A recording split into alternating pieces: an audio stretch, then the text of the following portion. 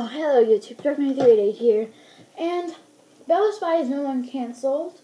It's actually came out, came out yesterday, to be exact, and I really do hope you guys check it out. It's already got 9 views, so bring that views all the way up, because I know that some of you guys have probably been waiting for this to come out.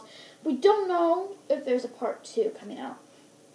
I did kind of leave you guys hanging a little bit in that video, but don't worry, I'll try to get a part 2 and as quick as I possibly can. So like, favorite, and subscribe, and comment below on if you enjoyed Belle the Spy. And if you don't feel like searching it up, there'll be a link in the description below. So thank you guys so much for watching. This is Dark 3 Days signing off. And subscribe so you'll see my newest posts. Bye-bye.